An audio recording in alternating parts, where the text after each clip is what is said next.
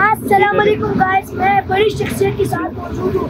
عمران ریاض کے ساتھ کریں گے۔ کلام کے اچھا پہلے مجھے آپ بتائیں آپ کا نام کیا ہے؟ میرا نام فیضان ہے۔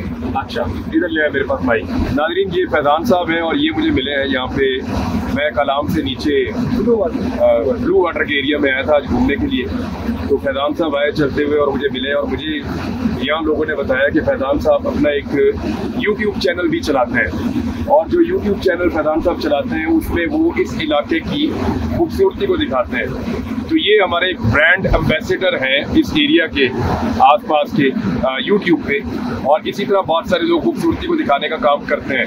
تو آپ یہاں پہ پہلے میں پوچھوں آپ کے دو تین بات آپ کتنے عرصے سے یہ یوٹیوب پہ ویڈیوز بنا رہے ہیں؟ تین چار سال ہو گئے تو ویڈیوز آپ کی لگاتار آتی ہیں، روزانہ آتی ہے اچھا ٹھیک ہے۔ اور تین چار سال میں آپ نے کون کون سے علاقے دیکھے ہیں؟ نہیں، یہاں پہ سارے علاقے دیکھے کہاں کہاں پہ آپ لے گئے لوگوں کو؟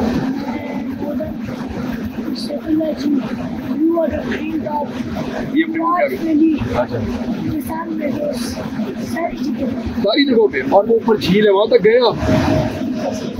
وہاں تو پیدل جانا گئے ہو؟ پیدل جانا پڑتا ہے۔ کتنے گھنٹے؟ اچھا ایک منٹ، یہ میں پکڑ لوں آپ وہ تین چار گھنٹے آپ پیدل چل کے اوپر گئے تھے۔ آپ کا اتنا ویٹ ہے ماشاء اللہ اور آپ پیدل گئے ہو۔ اچھا۔ اچھا ناظرین، یہ مجھے ملے ہیں اور یہ کہہ رہے ہیں جی کہ میں یہاں پہ لوگوں کو انٹرویوز کرتا ہوں، لوگوں کو ملتا ہوں۔ ان کے فادر بھی مجھے ملے ہیں اور وہ یہاں کے یعقوب صاحب ہیں۔ یعقوب صاحب یہاں کے پہلے گائیڈ ہیں۔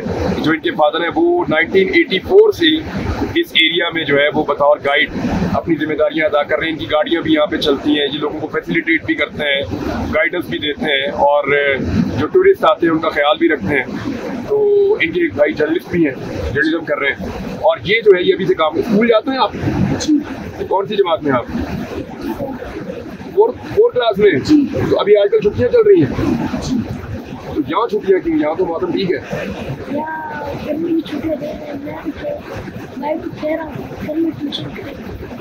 چھٹیاں چاہیے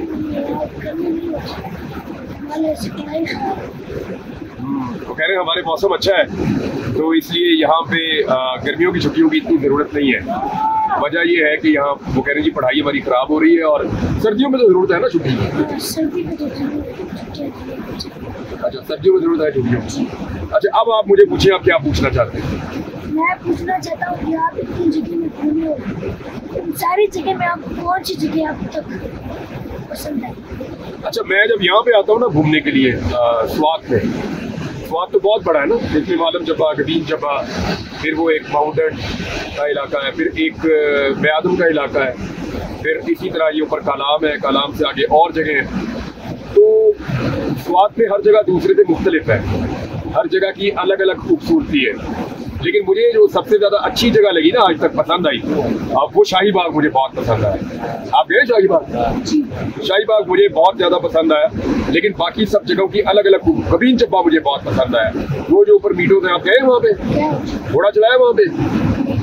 اچھا گھوڑا آپ نے نہیں چلایا وہاں پہ؟ گھوڑے نے آپ کو بیٹھنے دیا اپنے اوپر۔ اچھا میں میں وہاں گیا ہوں تو وہ میٹوں مجھے بہت پسند آئے۔ اور اور کچھ پوچھیں آپ۔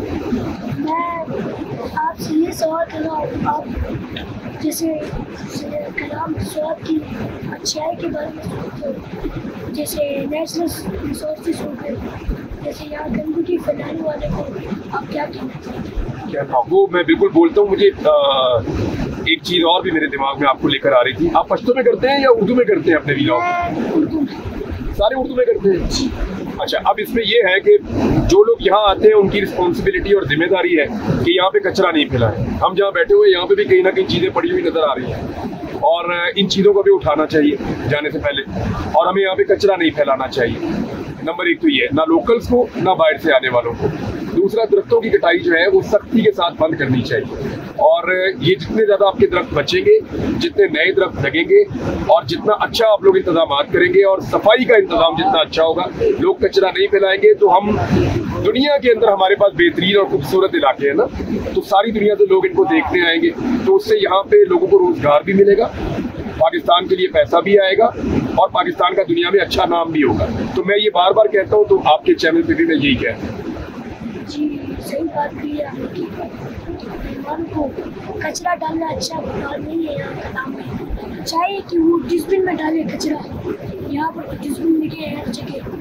جہاں بھی ڈسٹبن دکھے ایسے پلاسٹک اور یہ شامل ہے گندی بات ہے۔ بہت بہت شکریہ آپ کا۔ اور کوئی چیز آپ نے مجھے پوچھنی ہے تو آپ مجھے پوچھیں۔ اب جانے کا وقت ہو رہا ہے، شام ہو رہے ہیں نکلو تھینک یو بہت شکریہ آپ کا فیضان. تھینک یو آپ کا بہت شکریہ. آپ کے فادر کا بھی، آپ کے بھائی کا بھی. Thank you G.